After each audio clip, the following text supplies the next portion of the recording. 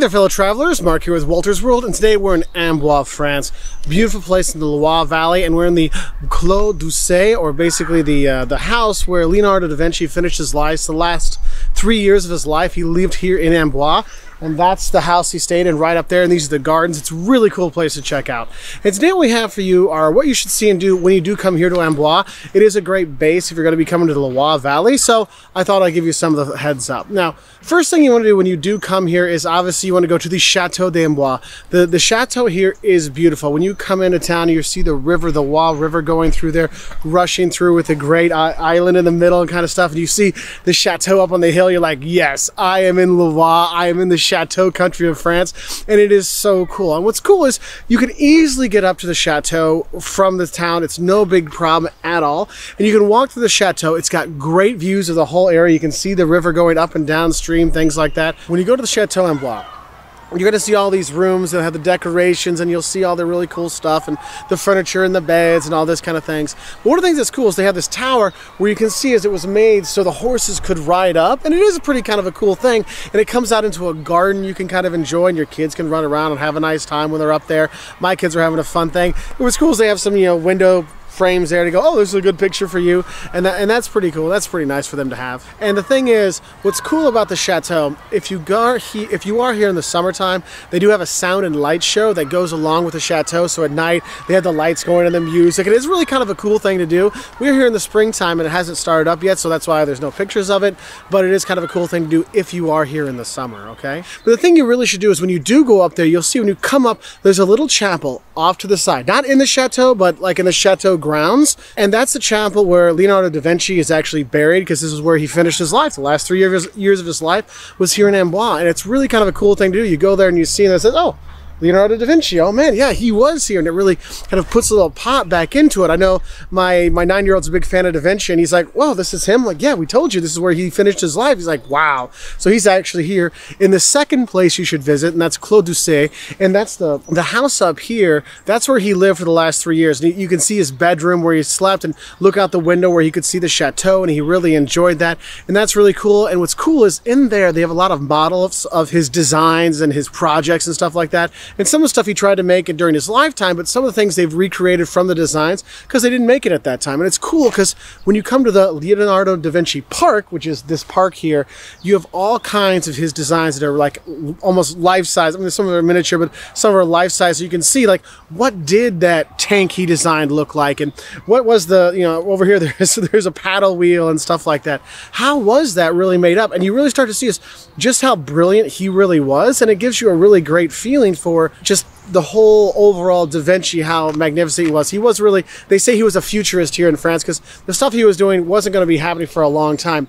They've got a design in there that shows the first, you know, like his design for an automobile that would run on its own. And they have, what's cool is they have the designs and then they have like a little video near it so you can see how it would kind of work. Because sometimes you're not really sure. Like the Archimedes screw that gets the water up, like, oh, okay, I, I can kind of imagine that. But when you see the car, you're like, what's Oh, and you see the video.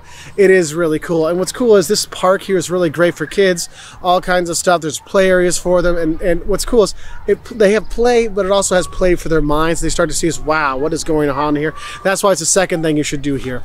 Now, a little cute thing is when you're walking from the chateau uh, to here, you're going to see these houses in the side of the rock. It's like, wait, am I in Hobbiton? Is this the Shire? Are there hobbits going to be coming out there? No, there's houses that are actually built into the side of the kind of the cliff wall there underneath the chateau, and you'll see buildings like that. Well, buildings are you know living areas. I'm not sure it has holes, caves throughout Loire, and it's really cool because you can see it right there. Now, I will tell you, those are private residences, so don't just go walk up and go look in because that's somebody's house, and I don't think you'd like that. So just just give you a heads up. But it is pretty kind of cool to see when you are here.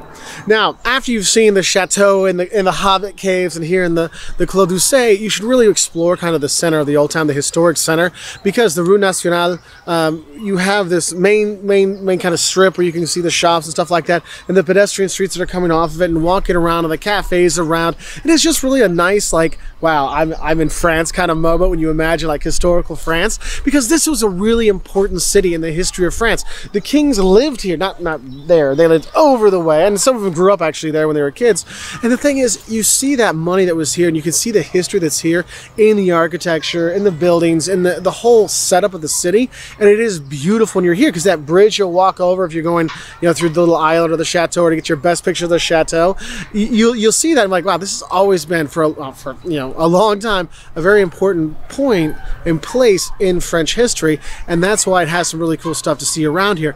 And what's cool is Amboise makes a really good base to see the Loire Valley because it has a lot of accommodation. There's a lot of cheap eats here, as well as expensive drinks and stuff like that. But I mean, for a tourist place, you get what you get. But the thing is, it has options, which is really nice. And also, it has transport options. You can get the train, you can take the bus to some of the chateaus from here. You can arrange trips from here. There's there's hotels with actual parking, which is nice because we've got eight eight people this time, you know, going around with us, and we have all this kind of stuff, and it's really cool because you can have that here in Amboise. And the thing is, there's more than just the chateau and this. There's, you know, you can go to the city hall and you can see the painting of, you know, Da Vinci dying and, and Francois First looking over him, and these kind of things, which is neat. There's some historical things there. You go to the Saint Denis Church and see, you know, and see that. That that's kind of a cool one to check out. It's actually been a, you know, a, a temple and a, before, you know, before it was a church and all kinds of stuff. So that's nice. There's some just nice walks around here. And what's cool is in Loire, you go for nature. You go for places like this. And if you're here, you can go on a kayak tour, okay? You can rent bikes and go biking through Loire. I mean, dude, this is just the coolest thing to do. It's very much an outdoor city and an outdoor area, and that's why it makes a really great base. And if you don't want history and you just want to have that other fantastic part of France, wine, there are tons and tons and tons of different wineries here in in Loire, and you can go to wine tastings from here in Amboise, no problem. Okay. Now, if you have kids, I say come here to this park and go see the the the Clos Lucé. That's cool in the park with all these things. But also you can go to the, the Zoo Beauval. I, I, know I'm butchering the name, but it's actually the biggest part or the biggest zoo in France, one of the biggest zoos in Europe. You can go there and you see your lions tigers and bears. Oh my! But the thing is, after all the chateaus, you, you, believe me, you get burned out of the chateaus after a while. Okay, it does kind of make for a nice time, especially if you have kids.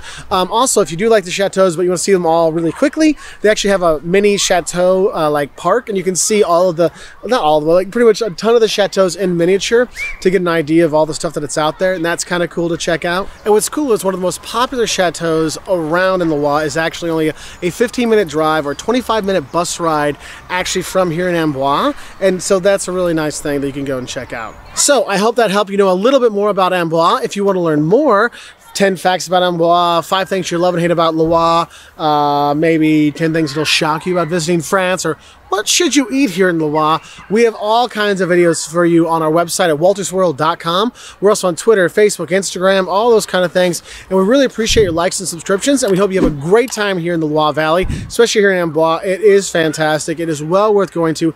Easy connections to Paris, easy connections to Tours. You'll be fine. And you'll get to see the chateaus. But I will tell you, don't do more than one or two chateaus a day because you, you really start to burn out really quickly. They all kind of merge together. So just give you a heads up on that one. Anyway, Anyway, have a great time here and we'll see you later. Au revoir from Amboise, France.